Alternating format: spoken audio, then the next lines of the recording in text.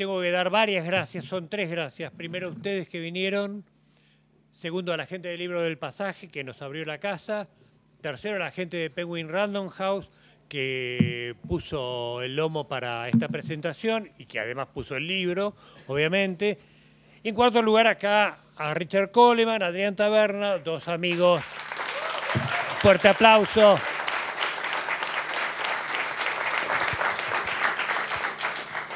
Ahora Richard nos va a cantar la balsa. Eh, no tengo un speech preparado ni tampoco me preparé para este momento, pese a que lo intenté, pero no podía pasar las cosas al papel. Realmente esta fue una aventura que comenzó de a poquito, que fue tomando volumen con el tiempo, sobre todo en pandemia, y que una vez terminada es como un chico que cumple la mayoría de edad. Entonces yo lo he hecho de mi casa mental y comienza el recorrido por los lectores. Muchos de ustedes son personajes de esta historia. Tato Bacaro, Alberto de la Morte, que fueron compañeros de Gustavo, eh, bueno, Richard y Adrián ni hablar, Mendiri, que estuvo ahí en Eugenia en Producciones, Gonzalo Córdoba, guitarrista de Gustavo, Andrea Álvarez, Marcela Carminio, que fue prensa de Soda, eh, el Pollo Rafa lo veo por ahí, que siempre destaca, que hizo esos bronces tan lindos que podemos escuchar el ruido blanco, que los escribió él, porque hizo los designos. ¿Qué más decirle? Bueno, está, hasta el flaco estéreo está acá, que muchos lo conocen porque... ¿Me escuchan? Está bien, porque lo veo a todos. Más fuerte no se puede, Adrián. El único que puede hacer las cosas que suenen más fuertes sos vos. Digo, el libro ya está en manos de ustedes y comienza otro viaje distinto que el que yo recorrí. Y realmente el feedback que he tenido hasta ahora, que cumplimos un mes, y ya estamos por la segunda edición, es un feedback eh, muy caluroso, muy cálido. Señoras y señores, ellos son las estrellas. Eh, realmente, Adrián y Richard son dos amigos de hace muchísimo tiempo. Eh, con Richard eh, nos conocemos desde el 86. A Adrián no recuerdo de cuándo lo conozco, pero sí sé que este proceso nos hizo mucho más amigos de lo que éramos. Para mí fue un placer ir a lo de Richard, porque sabía que me iba a hacer un buen café. Y era lo de Adrián, que también me hacía buen café, pero que además tiene una protagonista importante del libro, que ha sido Frida, su gata, que siempre, salvo en la última charla, que creo que la presintió, estuvo en mi falda durante las charlas y tratando de tirar el grabador a la mierda, obviamente, como hacen todos los gatos. Nada, voy a conversar con los amigos porque yo lo único que les puedo decir es gracias porque ha sido tan amorosa la, la recepción de este libro por parte de ustedes, ha venido un feedback tan grande que tengo otros nueve libros, pero yo sé que todo esto es en honor a Gustavo, que todos lo queremos mucho y que de algún modo lo tenemos presente en el corazón o anda dando vueltas por acá porque ya sabemos que Gustavo Cerati es infinito. Gracias por venir. Vamos con Adrián Taberna. Ya te voy a decir. Que me siente. Acá me dicen que me siente mi asesora de imagen. Eh, Adrián me contó algo que yo no sabía, que era que él lo conocía a Gustavo, no de antes de trabajar con él, sino antes de eso, antes que, que la Tierra se solidificara y existieran los dinosaurios. Esto es que Gustavo tenía una fama barrial, porque Adrián nació en San Martín y de repente aterrizó en Villortúzar. Entonces le voy a pedir que me cuente un poco cómo es que sabía de Gustavo antes de que alguien supiera su apellido o que iba a ser músico o algo. Menos mal que era eso. Bueno, eh, como decía Sergio, yo lo conocí a Gustavo por referencia del barrio, eh, porque eh, en la casa de al lado yo tenía un amigo de mi misma edad y tenía una hermana dos años más grande.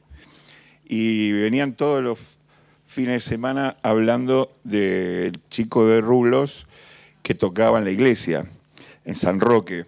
Y yo tenía, eh, a esa edad, a los 14, 16 años, la diferencia entre una niña y una adolescente se nota. Y yo veía eso. Fue un estudio que hice antropológico y bueno, me bancaba a escuchar todas las historias de la iglesia, este, hablando de alguien que yo no sabía quién era, pero sabía por referencia, un ángel. Y, este, y bueno, para mí Gustavo era el chico que tocaba, que dirigía el coro de la iglesia y que tocaba la guitarra y que llegó a participar en un festival de canción navideña, no me acuerdo de qué año. Eh, 76, 77. Y nada, y después cuando lo conocí personalmente a Gustavo, dije, ah, vos sos el que toca en la iglesia.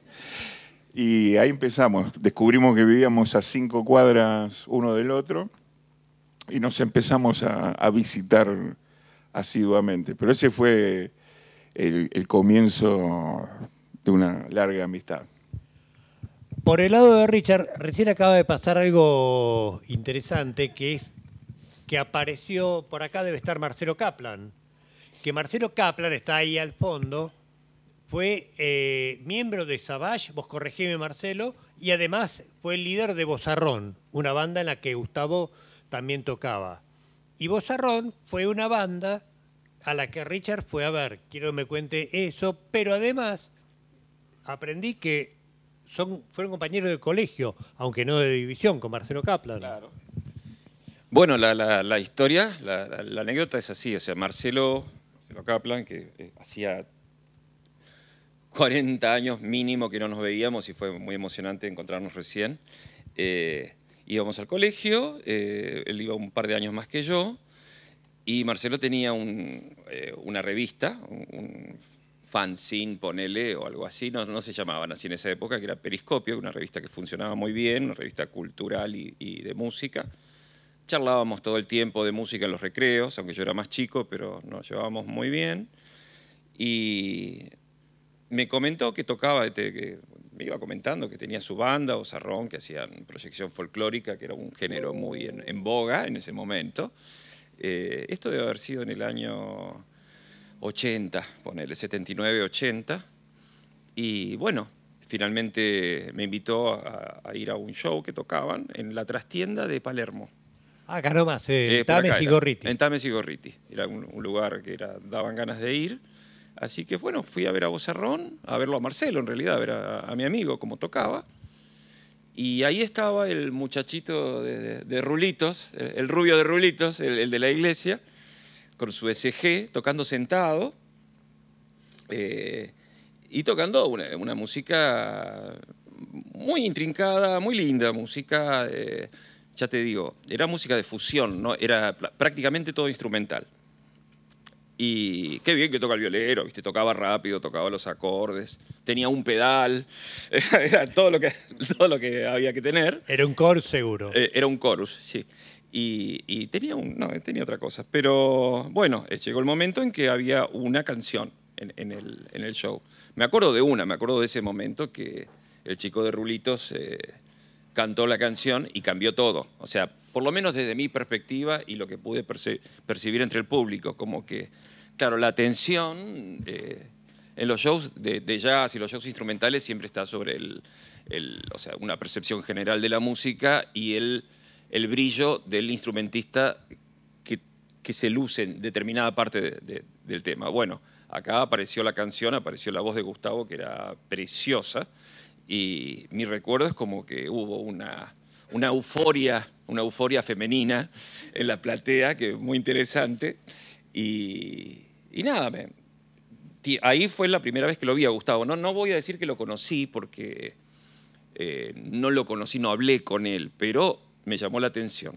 Tanto que un tiempo después, no sé si un año después, pero no mucho más que eso, eh, yo estaba en, en Villa Gesell y me fui a comer a un Carlitos, uno de esos lugares típicos de Villa Gesell, a comer una hamburguesa. Y aparece el muchacho de Rulitos también, enfrente mío en la barra, con su gorrita, porque él siempre usaba sus gorritas. Tenía unas gorritas de esa ¿Lo reconociste el toque? Sí, lo reconocí, pues me acordaba, porque ya te digo, había sido un impacto, digamos, eh, era, uno estaba atento a, esas cosas y además era el guitarrista de la banda de mi amigo, ¿cómo no me iba a acordar? Y, lo vi ahí atenderse con una, de una manera prehistórica casi. Era, Gustavo tenía un, estilo para comer muy, muy, muy impetuoso, digamos, que fue otra cosa inolvidable, o sea, su rulo, su gorra y su manera de comer, digamos. Estamos en el barrio de Palermo, y ustedes conocieron, y otros que están acá, un Palermo que no es este, que estaba lleno de antros donde se tocaba. Antes, ¿Cuál? Carruaje. Sí, sí. Sí, bueno, pero... ¿Qué se acuerdan de esa época de los pubs con Soda Stereo tocando, no sé, en Cero, La Alcantarilla, eh, no me acuerdo qué otros lugares, la esquina del Sol? Yo tengo una del Cero Bar. El Cero Bar fue un, show increíble. Ya creo que debe haber sido en el 83. A ver. Sí, claro, en el 83. Antes del disco. Antes del disco. Y, y bueno, era, era bastante... Yo hacía bastante que no los veía fuera de los ensayos a, ellos, así que verlos en el escenario fue bastante impactante. Estaban todos luqueados, viste, viste trabajando de, de rockstar. bueno, eh, yo iba seguido a cero.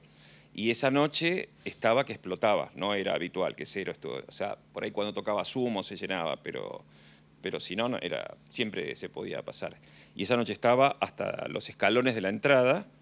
Me acuerdo que estaba el Gonzo, que creo que tocaba, no estoy seguro. Estaba Melero en la consola, que tocaba desde ahí, porque no había lugar en el escenario y porque él es raro. ¿Fue la noche que se rompió el parlante?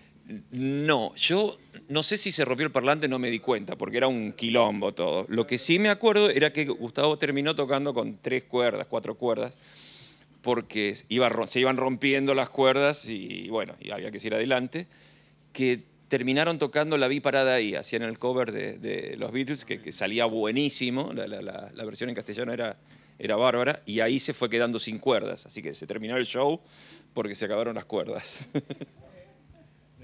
De esa, de esa época... Remera naranja con el asterisco. Con, el asterisco, sí, señor.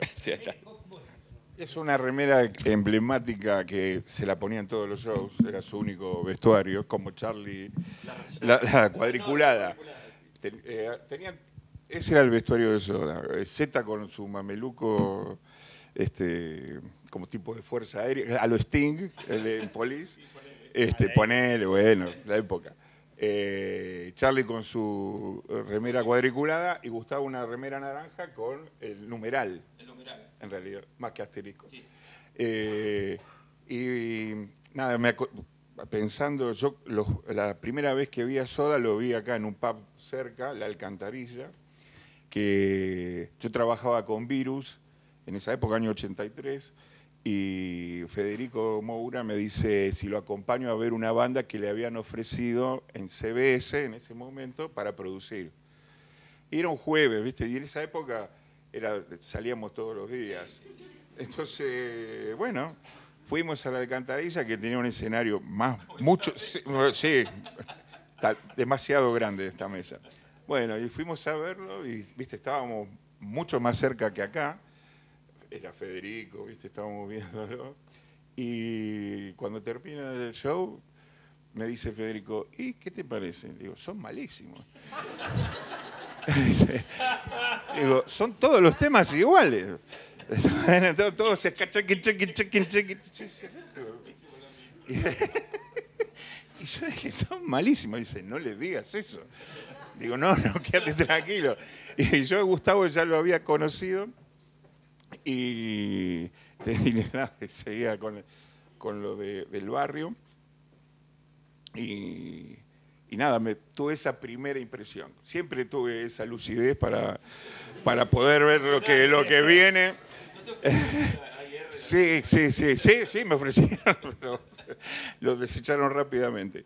Este, nunca fue mi fuerte. Ese, pero bueno, Eh, ese fue mi primer contacto con Gustavo y con Soda. Y era acá cerquita. en un- Acá en la un vuelta. pub. Acá, ¿no? Acá en el Sí, barrio. porque lo- cuando me lo contaste yo lo Ah, busqué. acá hay favoritismo. Mira el volumen que le pusieron a él. Bueno, Que me robaste el instrumento suena bien. El origen es el problema. Era acá la vuelta, eh, Serrano 1600, la alcantarilla. Hoy hay, creo, está Brujas ahí o algo por el estilo. Pero había otro pub que no quedaba por esta zona, que era el Stud, donde vos tocaste con fricción. ¿Fue la primera vez? Soda rato. ¿Vos ya te habías subido a un escenario antes de tocar con fricción? Eh, sí, en la época del colegio. Y después. ¿Pero eh, qué? ¿Para recitar eh, el Martín Fierro? No, sé- no, no, no, seas. No seas tan marchi. Mira, voy a hacer menos marcha y te voy a dar el micrófono que anda. Ahí va. Tomá. Bueno, el cucurucho. Eh, no, no, el escenario había estado, eh, bueno, ya había empezado en el colegio, pero por el escenario literalmente, y ya había tocado con Metrópoli, con los encargados. No, yo tenía una larga trayectoria ya a los 21 Ah, bueno. años. Imagínate. que la Imagínate. gente sí, supiera eso. Pero cómo, y me había caído de unos cuantos escenarios también. Pero bueno, en Stud sí, claro, tocaban los sodas. Y era muy lindo tocar ahí. Era, era fuerte, sí. ¿Qué otra fricción? ¿Cómo funcionaba? Ah, fricción. Sí, porque íbamos ahí al estudio. Bueno, eh, ese Fricción, lo que pasó con Fricción fue que nos juntamos con Gustavo. Eh, en realidad me llamó él, porque la, la idea de Fricción, más o menos, o sea, la- eh, salió de él, porque me llamó, creo que fue en el 83, 84, que ah, me preguntó, che, ¿todavía tenés esos temas que tocábamos? Todavía los tenés. O sea, no, los perdí, ¿viste? Claro. Bueno, los podrías Eh, haber olvidado. Pero tenés más temas, ¿viste? Tengo ganas de juntarme a tocar fuera de Soda, porque estaba, estaba un poco aburrido de tocar los temas que, que Adrián tanto disfrutaba. y, claro, eran dos que estaban aburridos.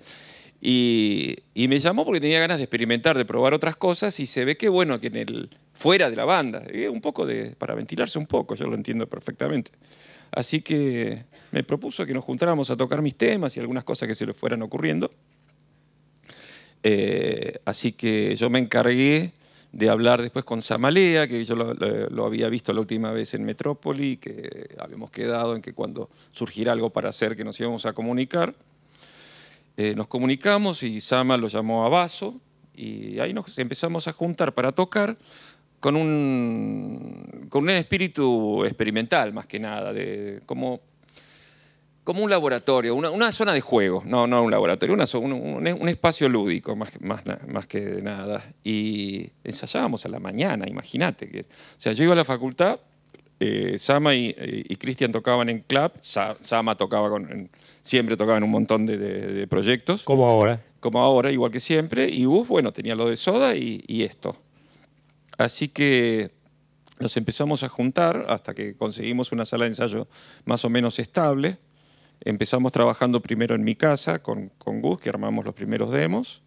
Empezamos con los chicos a, tocar y en poco tiempo ya teníamos como un, un puñado de temas que no alcanzaban para un show, pero, pero estaban bien ensayados. Eso más vale poco, pero bien. Y ahí Samalea se mandó al estudio y dijo, che, conseguí una fecha, porque él decía que ya había que salir a tocar, que no había que ensayar tanto. Y él, viste, él, él siempre con el sobreensayo, viste, eh, se cansa de, de ensayar. Así que nos encontramos como que teníamos una fecha en estudio, nos faltaban temas, ahí sumamos héroes, porque era fácil, y podíamos hacerlo, era tres tonos y lo podíamos hacer durar 12 minutos tranquilamente, que fue así. Y después, eh, ade- además lo, lo usábamos de bis, o sea que por las dudas. Y, y bueno, y ahí fue que hicimos tres shows con esa formación en, en, en Estud, en el 85 finalmente, en abril, mayo y junio. Eh, y que operó Adrián, por supuesto. Ahí, ahí fue que me hice famoso con esos tres shows. Claro, claro, tal cual. Ahí todo el mundo. Que es el show que vieron más de un millón de personas presenciaron. Es que, es, que Estud era muy, muy grande para. En el fondo era muy grande. Cada vez, cada vez más gente lo ve. Sí, sí, sí. Todavía hay gente en el fondo, viste, por ahí, No por hay Figueroa Alcorta. show, ¿viste? ¿no? ¿Eh? ¿Hay material en YouTube de ese show? Sí, sí, sí, ya, y lo subió ¿Eh? Cristian. Sí, Cristian lo subió. Ahí está. Con nuestra autorización. Obvio. Supervisado el sonido y la imagen, sí. Todo. Pregunta, de los shows que ambos hicieron con Perdón, una cosa. Sí. Acá también está entre nosotros el primer, son- el primer sonidista de Soda. Ahí tenés un micrófono. Marcelo Angiolini. Marcelo Angiolini. Que por que suerte se fue- dedicó a hacer otra cosa y me dejó el camino libre. Gracias, Marcelo. ¿Dónde está Pero Angiolini? hizo los primeros, hasta que llegó un profesional. Ahí está, ahí está. Se esconde bajo una gorra. Sí. Aplauso para Marcelo El- Angiolini, que fue, además, Es el el viejito ese que está ahí con- O el segundo. Era importante porque él nos pirateaba la música. Tal cual. Nos ha dado mucho material. No vamos a decir de dónde, pero nos, nos facilitaba cassettes que nos enriquecieron nuestros oídos para ser lo que somos. Sí, no, hay que ¿Te ver si llegó? Carlos Rodríguez lindo, ¿eh? Que era el ¿eh? dueño de la disquería. ¿Eh? Carlos Rodríguez Ares era el dueño de la disquería. Bueno, no queríamos dar esos Ustedes ya datos. prescribieron esos crímenes. ¿Sí? Ah, bueno. Sí, sí, sí. Después de 40 años. Uy, tanto tiempo. Pregunta, con Perdón. respecto, ambos hicieron shows con Gustavo muchísimos. ¿Cuáles son los que más recuerdan de los shows? Y si hay alguna anécdota de escenario, digo, Yo no, de backstage, de Yo escenario. nunca estuve en el escenario, así que el escenario No, pero, pero vos veías el escenario Sí, muy claro. claramente. Sí. Eh, el primer show de fricción, creo que está, lo tenemos en un cuadrito, yo personalmente. Habla el micrófono. No, no tengo ganas. Este, me gusta hablar así, a lo lejos, y que la gente haga fuerza para escuchar. Este, Cuando te lo dicen sí. los músicos. Bueno, sí. Bueno, eso que decía, del- ahora mirá, mirá Eh, qué potencia. qué voz, ¿eh? este, Que el primer show de Fricción fue muy, muy, este, experimental y raro para la época. No había bandas así. Nosotros veníamos de una cosa muy comercial como era Soda, con un efecto muy fuerte, y Fricción era como todo lo contrario. Este, una banda eh, eh, no, que no había, y creo que no hubo tampoco. Eso es algo así. Y qué sé yo, yo tengo un montón de shows, no te podría decir. Algunos que, sí, varios en realidad, pero... ¿Hubo algún show que vos digas, este salió 10 puntos, que recuerdes? Porque debe haber varios de 10 No, puntos. no, porque soy muy exigente.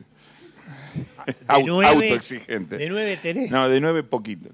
No, este, no, yo la verdad que tengo muchos shows así importantes. Lo que pasa que es, es diferente como lo siente cada uno. Le- a cada uno nos causa un efecto diferente y lo vivimos de una manera diferente y, participando o como público, eh, qué sé yo, es muy difícil de explicar. O sea, me acuerdo importantes así, bueno, los de Viña del Mar, cuando fuimos en el 87, fue una cosa, un shock. Este, cuando volvimos 20 años después con Gustavo solo, este, solista, perdón, eh, también fue muy fuerte eh, porque para Gustavo y para mí eh, éramos los únicos dos que volvimos 20 años después y lo disfrutamos mucho, lo tengo así muy grabado. Hacer Vélez en su momento con Tears for Fears y después solos, todos desafíos importantes. Hacer el primero obras, qué sé yo, son montones. eh, y los River, ni hablar, y todos, qué sé yo. Pregunta, Adrián o Richard. eh, ah, perdón, perdón, perdón, perdón. Yo para mantener el ritmo de radio. Déficit profesional, perdón. Yo tengo una linda anécdota, digamos. Mira que no soy muy anecdote, anecdotero. Pero una vez que me llamó Gus a la tarde de un sábado y me dice, Richard, ¿qué vas a hacer hoy? No, nada. ¿Por qué no te venís conmigo? Vamos a, a Ramos, que, que esta noche tocamos en el Pinar de Rocha. Me dice. Qué lindo recuerdo. Y, inolvidable. Y porque quiero que vengas a ver el show, porque es, es muy fuerte esto que está pasando. Y quiero que, quiero que vengas, así lo ves. Bueno, le digo, vamos. Entonces fui a la casa y a Heredia y nos fuimos juntos en el Falcon. En el Falcon, Gu- Gustavo manejando con su parche. es inentendible. Gustavo tenía uno, o sea, odiaba tanto los anteojos para, para manejar que se le habían roto. O, o sea, uno de los, de, de los vidrios se le había roto y lo había pegado con cinta y veí- de embalar y había dejado un cuadradito. Entonces, eh, en el- creo que era en este ojo, no me acuerdo bien. Sí, en este, ¿no? Entonces, en el izquierdo veía para manejar por un cuadradito y bueno, hasta que dejó de usarlo, en algún momento se decidió. Pero hasta que cambió de auto, claro. Así era una imagen muy. un sex appeal, total, ¿no? Con, con las ojotas y el parche y el Falcon. Y bueno. y fuimos ahí al Pinar de Rocha, un show tremendo, porque era cierto, era, era muy loco eh, la, reacción de la gente, el público, toda esa multitud. O sea, la última vez no sé si la última vez, pero la, la sala llena que yo había visto de, Soda era eh, cero. Era cero bar que explotaba. Y, y después fue al- al año siguiente, un año, con un año de diferencia, era el Pinar que, que- que explotaba. Eh, fue muy fuerte ver el show, fue eh, eh, impactante, fue lindo, fue, fue bárbaro, la verdad que me encantó compartirlo, me sentía muy orgulloso. eh, eh, honestamente, de, de- de- los chicos, de lo que estaban logrando, pero además era un fenómeno, era algo que no, no, nunca visto, nunca en mi adolescencia ni, ni en mis primeros años de, de- de juventud, eh, había visto un- un- una banda de rock llenando un boliche bailable. Era, era, era muy raro. No, no, no las bandas de rock tocaban en teatros o en festivales, que esos que se armaban con palotes o, o en pubs, pero un boliche bailable, eh, o la gente saltando, cambiándole la letra a las canciones. eh, Oye, sabemos lo que te hace falta. Y, y después volvimos a su casa, después de Ramos, eh, volvimos a su casa y Heredia eh, dio vuelta el bolso hediondo ese con toda la ropa de tocar que ya tenía más de una remera. Pero me, llamó mucho la atención cómo tiró toda la ropa eh, húmeda de tocar ahí en el piso. Y, y yo tenía el disco Tonight de Bowie que acababa de salir y nos pusimos a escuchar el disco ese porque había que escuchar lo nuevo de Bowie. Después de todo, la vorágine de todo el día en auto yendo allá con el griterío, eh, nos pusimos a escuchar el disco de Bowie y a ver qué efecto le habían puesto. Obviamente, al micrófono de Bowie en el tema Tonight, porque sonaba un poquito distorsionada la voz. Y entonces empezamos a elaborar de qué manera habían logrado esa distorsión tan linda. Hay una cosa que para agregar que de cero, que era un lugar, un sótano atrás del zoológico. Sí, enfrente, Eh, República de la India. bueno, depende cómo lo veas. Para mí era atrás. Si vos lo ves que era enfrente, es un- una apreciación tuya. Bueno, cuestión de perspectiva. Pero bueno, era un sótano muy chico, ¿no? y, y pasar de un lugar que cabían 100 personas apretadas a pasar a un lugar que ya eh, casi 2.000 personas. Entonces, en un año fue como muy violento el crecimiento y la popularidad. Eso quería decir, nada más. No, está muy bien. Está. Está muy bien. No hablo más. No, bueno, eh, te- tenés que contar más cosas. Que compren el libro, pero eso está. Bueno. ya está conté todo en el libro. Que presentemos, Eh. que presentemos el libro, que hagamos una- unos pasos Todo de bien, comedia. Momentos Ah, graciosos. ¿Recuerdan? Este. es el que más recuerdo. eh, Ahora. Sos tan difícil como Coleman cuando le hice la primera nota. Mira qué bueno.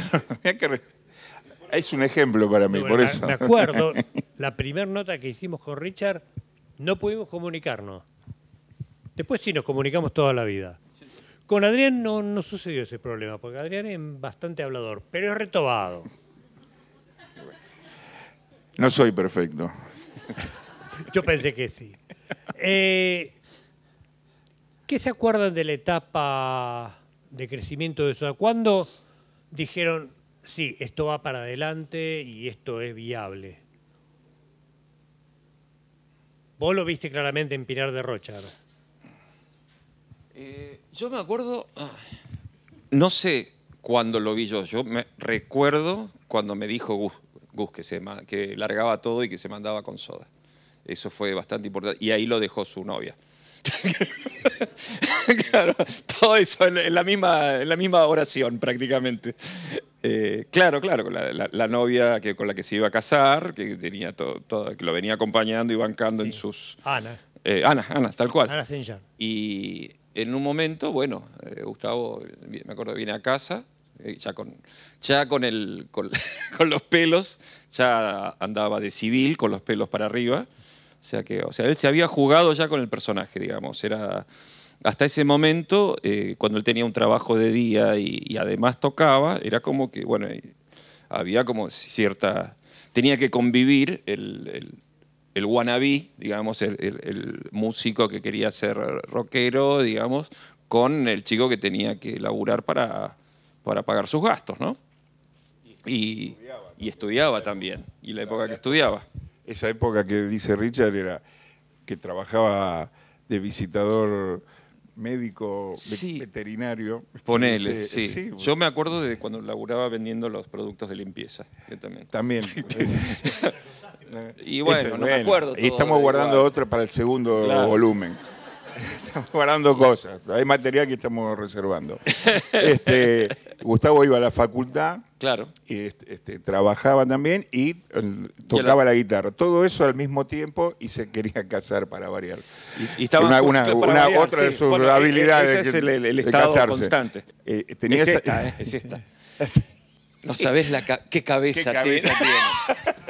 Es un eslogan que quedó marcado. Me lo voy a tatuar eso.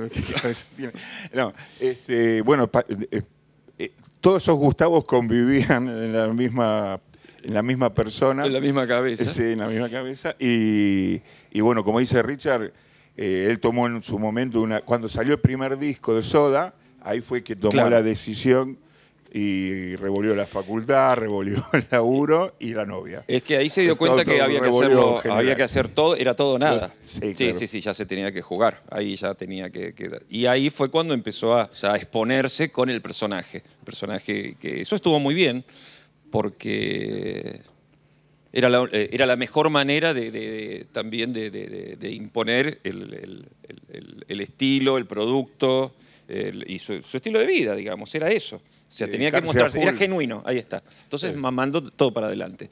Por ahí a veces se ponía el sobre todo y tenía el jogging abajo. Pero, el pijama. El, pijama. Bueno, acá se venía con, las ojotas, el, pijama, y el sobre todo y, los sobre Vamos a tirar muy abajo, Perdón, estamos descubriendo a, a, Bruno Díaz. claro, claro. Era Batman al final. Divino. Bueno, un punto de consagración, por lo menos en aquella época, siempre era llegar a obras. ¿Se acuerdan de los primeros obras respectivos? Capaz que fue el mismo. Creo que Richard estuvo invitado en el primer obras. Sí, sí, sí, fuimos al mismo. ¿Vos ya habías hecho sonido en obras? Porque vos ya eras un profesional cuando Soda Stereo era una banda amateur, eso hay que decirlo. Gracias a mí entraron al profesionalismo. Una banda de... Pensé que, gracias a vos había dejado la iglesia. También puede ser. Eh, no, sí, yo ya había hecho, como era casi un niño prodigio, yo, después no, pero a los 19 años hice mi primer obras con Riff. Entonces este, yo ya tenía experiencia. Es más, hice varias obras, hice tres obras antes de hacer el, de el primero de Soda. Entonces ya, era canchero. Y no, pero fue, pero fue también eh, muy diferente, porque ya hacía un tiempo, para, hasta cuando llegamos a hacer el primer obra de Soda, que fue en 85. No, en 85. Este, lo que pasa es que hay un, hay un periodo que Soda grabó tres discos en dos años. O sea que no, es que hay uno por año. En, dos años Soda grabó tres discos. No, no, eh, antes, del primero, el segundo y el tercero. O sea, fíjense cuál es el primero, el segundo y el tercero, que no me acuerdo. Este, eso fue, eh, bueno, Ruido Blanco fue un año después porque, un año después de Signos. Ese sí es un año después. Pero los primeros, desde el 84 al 86, este, son los tres discos. ¿eh? Entonces, eh, por eso el 85 hicimos, en el 84, fin del 84, hicimos el Astros. en marzo del 84 volvimos a hacer el, Astros ya con otra, con otra historia, y antes de fin de año hicimos el- los obras, dos, de nada personal. Ese fue nuestro. Sí, Sí, en uno de los astros estuviste. Y cuando tocaste con Soda, Richard, ¿fue tu primera obra o ya habías estado antes? Sí, sí, fue mi primera obra cuando toqué con Soda, obviamente. Fue, fue impresionante, era muy chico yo. eh, tenía, en el 85 tenía 22 años, 21, 22 años. Y igual éramos todos grandes. O sea, eh, era re chico porque era, todo me pegaba. Pero es todo un, impacto que no, es muy des- descriptible, digamos. Tiene que ver con, el momento, con el contexto, como decía un amigo mío hace un ratito, como decía Sandro, que el contexto es más importante que la anécdota en sí misma. Entonces, eh, relatar, eh, qué sé yo, que veníamos justamente, hacía dos años estábamos tocando en cero, ponele, pues yo tocaba con fricción en cero, o que yo estaba tocando en una pizzería con los encargados, eh, o, varios lugares así. Eh, de golpe estar en, en el Astros, donde yo había visto, en el Astros, en el, en el Obras, donde había visto, qué sé yo, a Cerú Girán, a Spinetta, las bandas que venían de afuera. Era, el lugar donde yo hacía la cola, viste, para, cuando era adolescente, para, para ir a ver la- las cosas que venían, viste, qué sé yo, Van Halen. Entonces estar ahí era, como muy, muy importante, lo, tomábamos con- con mucha responsabilidad. Me acuerdo, ahora me voy acordando de eso, de ir a, de, en el momento de la prueba de sonido, el momento de la batería era, o sea, era cosa, cosa, palabra santa. Había que ir a la consola a ver qué hacía el sonidista. Claro, ¿qué hacen con el sonido? Claro, estaba, estaba con dos guitarristas así, ¿viste? mirando qué, qué hacía en la consola, ¿viste? Y ayudándome. ayudándolo muchísimo, ¿viste? determinando. Pero bueno, yo miraba y yo aprendía también. Y claro, aprendía como eh, su lado flaco. Y nada, o sea, del momento de tocar, básicamente el vértigo, ese es, el vértigo que tengo hoy en día todavía, es el momento de salir, no importa que- eso, eso entendí, que no importaba que, que- que hubiera 3.000 personas o 30, porque era lo mismo que Stud. Cuando, cuando yo estaba antes de, de- de salir a tocar mi parte, que era cortita, ¿no? eran dos, tres temas, pero la- la, el, el momento del escenario era, era, era lo mismo, porque el vértigo, la, la- ansiedad y esa cosa que se descarga cuando ya tirás el tercer acorde, porque los primeros dos no, no se sabe bien a dónde van a, qué va a pasar, eh, eso, se, eso me acuerdo bien, me acuerdo perfectamente haber, haber apreciado eso. Y después la gran noticia que en el video no, no se había grabado mi parte. Que te fueron a buscar al cine. Que me fueron a buscar después, sí, sí, sí. Me fueron a buscar para, para hacer un, un, un- overdub de, de- de lo, lo que yo había tocado. Y, pero bueno, eso es otra cosa. Eh, lo, lo de obras es, era muy importante. Me acuerdo los preparativos, los pelos, eh, la, la ropa que obviamente nos dieron ropa para todos y yo usé la mía. y bueno, esas, esas cosas, no sé, qué sé yo. Bueno, hasta ahora hablamos de los buenos tiempos. ¿Cuándo comienza, digamos, el- la turbulencia en el vuelo de, de Soda y cómo lo ven a Gustavo reaccionando frente a esas turbulencias?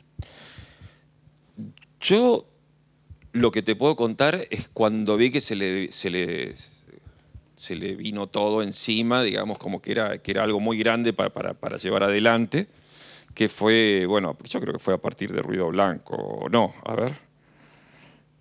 Ruido Blanco en doble vida, más bien, más bien en doble vida, y ya la, cosa se había hecho muy grande y no y lo vi un poco más alejado y ya con, con cosas eh, cosas de la vida privada un poco más despelotadas, digamos. Eh, en esa época ya, digamos, a fin de los 80. A fin de los 80 la, la cosa se, se- empezó a, como a, a- despelotar.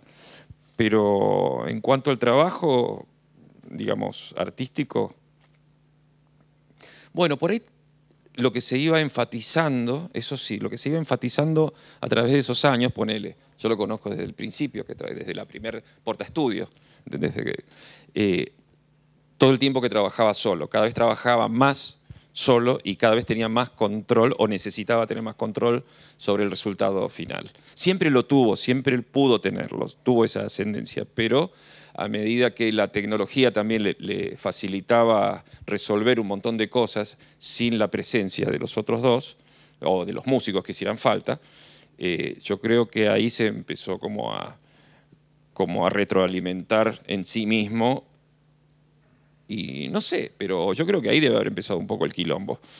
Porque después vino Canción Animal, que fue un discazo, y, ese disco no sé, no sé bien cómo lo hicieron realmente.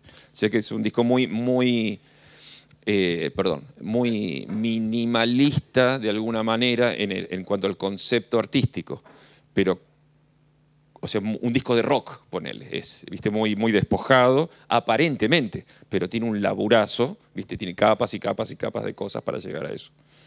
Pero no sé, yo realmente sé lo que vi en él, pero no sé cómo fue con la banda.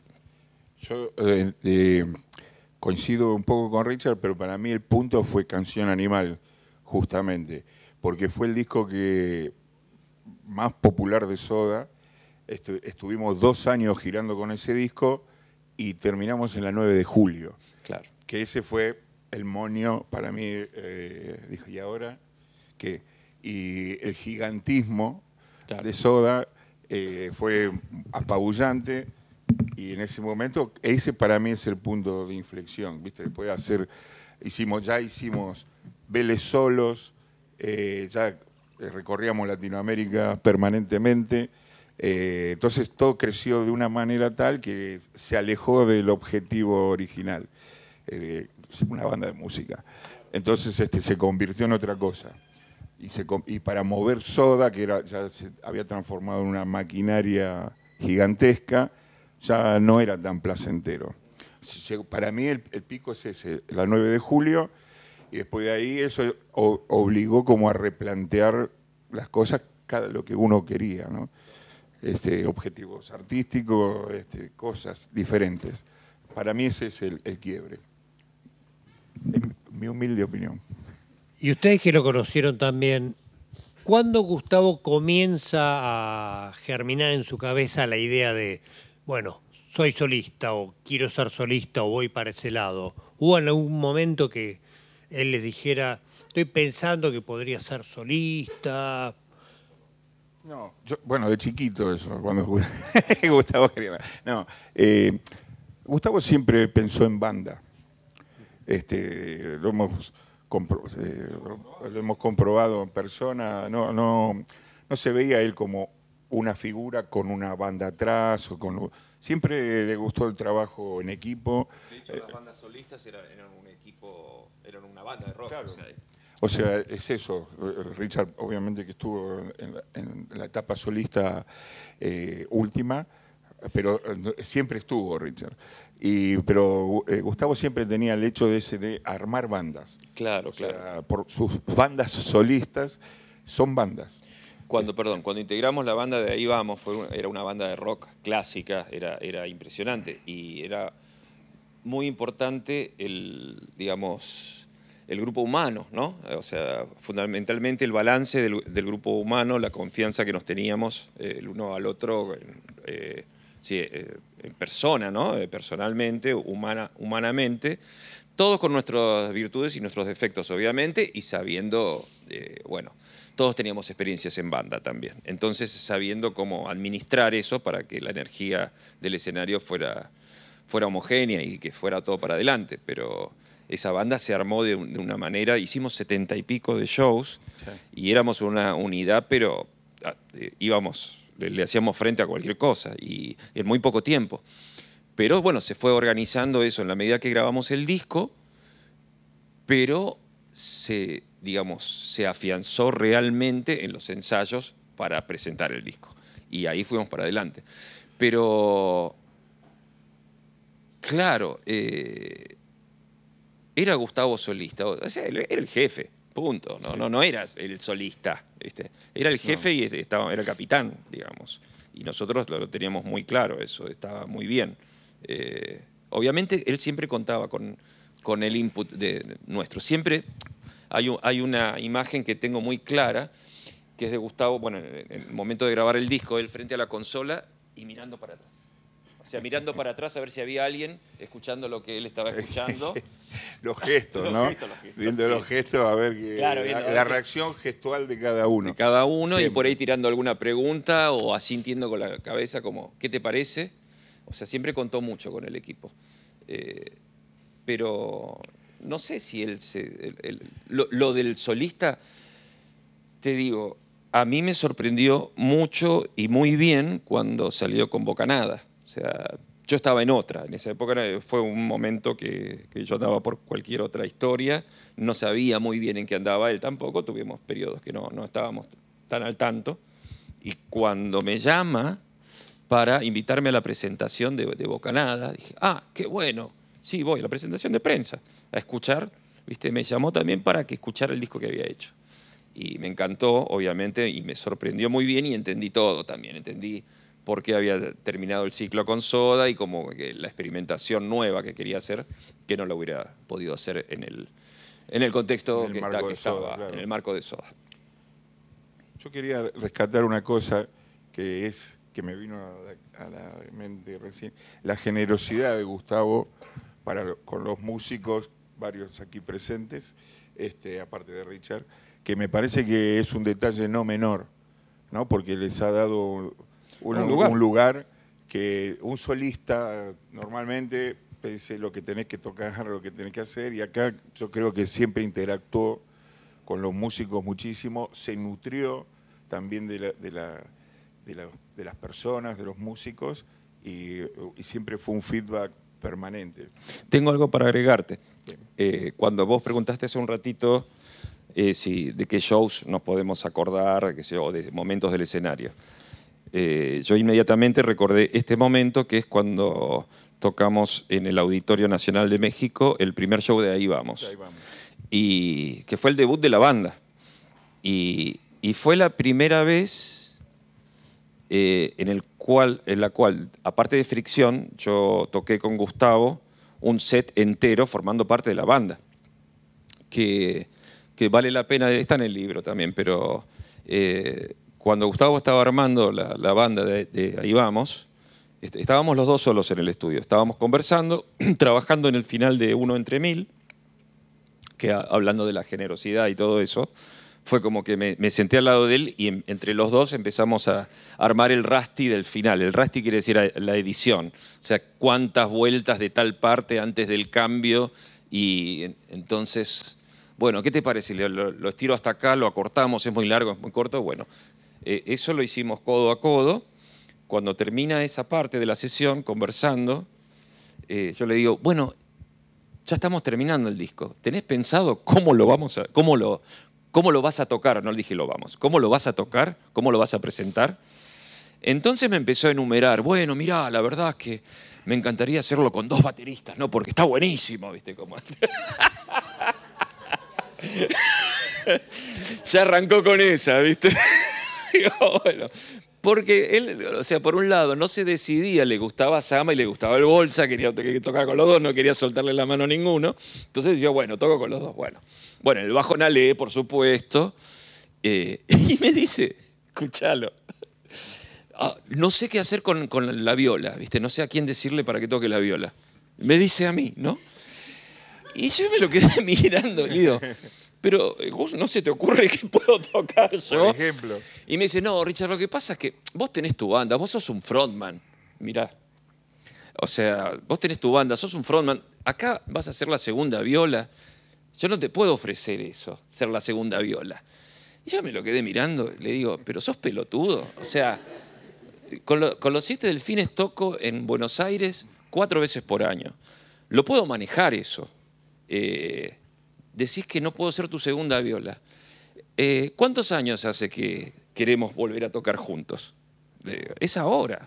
Yo toco encantado, estuve en todo el disco, ¿cómo no voy a...? dice, sí, ¿te copás? Claro, bueno, buenísimo. Entonces eh, ya, tengo, ya tengo violero. Te, iba a agregar, no le dijiste, también puedo separar a los siete delfines. ¿Qué es lo que pasó? ¿Qué es lo que pasó? Pero no, no, no. Ah, pues, no fue, no, porque no, no, estaba, justamente lo de él y su generosidad era no, no interferir en mi proyecto. Él no quería interferir ni, ni ser la causa, el causal del final de, esa banda.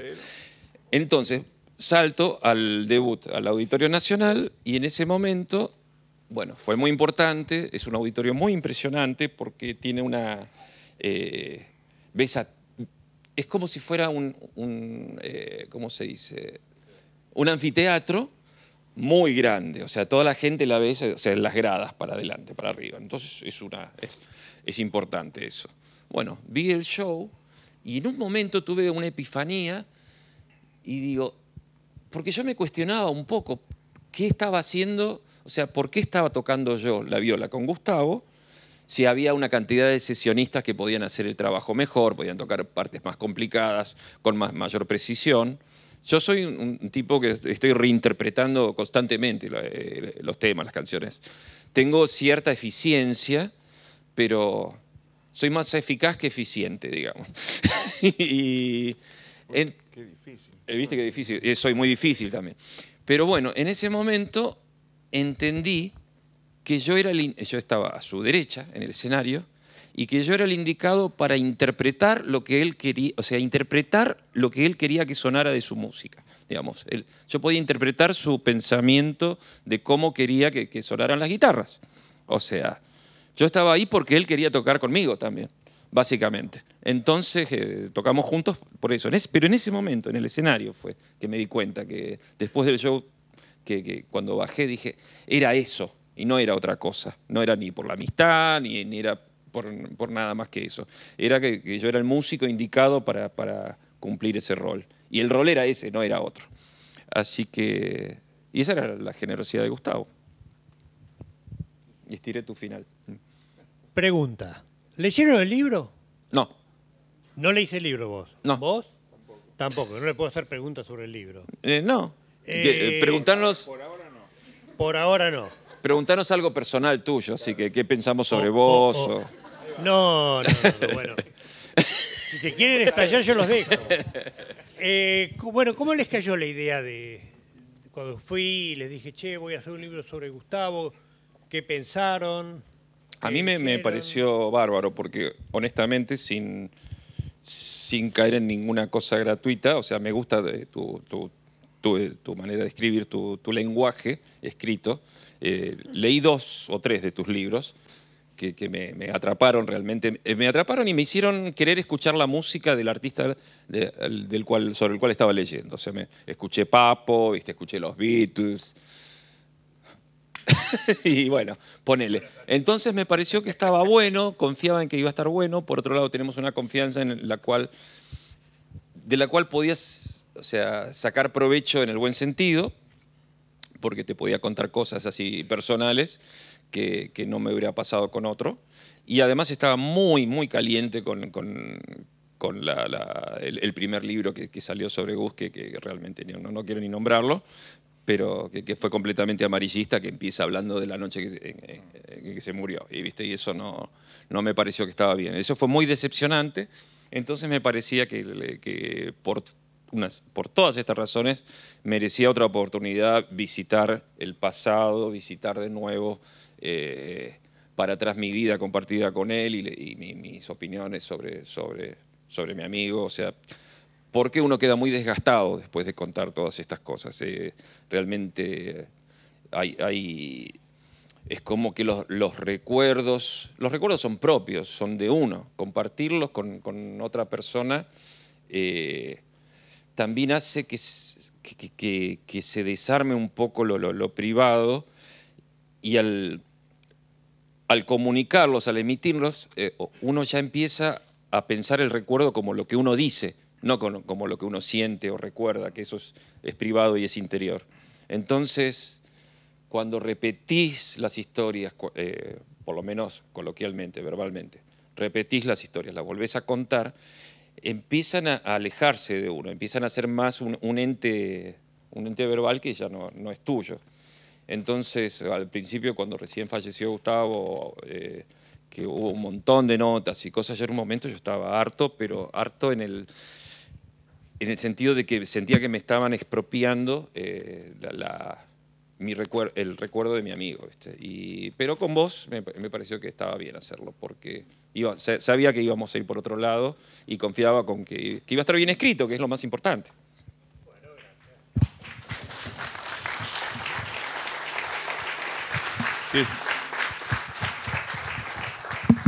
Coincido en mucho de lo que dijo Richard recién. Eh, yo eh, debo confesar que elogié el libro, no soy muy vago para leer. Y me pasó siempre eso. Eso de chiquito. Te lo pasé en Word que saliera sí. digo, ¿querés chequear? Sí, sí, sí. Y no me salió. Este... problemas de vista. Sí, eso es, eh, es conocido ya. No veo mucho. Sí. Ah, bueno, está bien, perfecto. Es muy lejos, entonces vería mucho. Eh, no, y no veo, no veo tanto. No, no, no llego. Eh, y mm, a mí lo que me gustó es que a diferencia de otros, primero que, como dijo Richard, conociéndote en tu trayectoria y cómo encaraste los libros que él nombró también, lo de Papo, Spinetta, en mi caso, eh, de Charlie. Eh, que también todos los los leí de aparte, no, nunca leí un libro entero ni en el colegio. Este, y lo que me gustó es que, eh, como contaba Richard, cuando uno tiene algo que vivió, pero hay varias personas en el, mismo lugar y al mismo tiempo, y, todos lo ven de una manera diferente. Y lo que me pareció muy interesante que hiciste vos, que de una, de una misma situación o tomaste la versión de varios y vos llegaste a una conclusión, este, hiciste como un tamizado y, quedó algo más concreto. Me parece que es más interesante que la versión de una sola persona. Este, me parece más enriquecedor y, más justo. Así que muchas gracias por haber hecho ese trabajo. Me parece interesantísimo. Yo les quiero agradecer a ustedes que hayan venido, les quiero agradecer también a Richard y a Adrián no solo que me hayan acompañado en este momento, sino también a lo largo del libro, porque yo me sostuve mucho en ellos, son un poco la columna vertebral de algún tiempo atrás, y también a todos ustedes, a los que participaron, a Andrea, Gonzalo Córdoba, Sandro Pujía, Alberto de la Morte, Tato Bacaro, cada uno me fue contando cosas con mucha confianza. Y yo lo que espero que es que cuando lean el libro sientan que esa confianza no ha sido defraudada. Para mí fue un viaje alucinante, lo sigue siendo y esto es solamente el comienzo. Como diría Cerati, gracias por venir.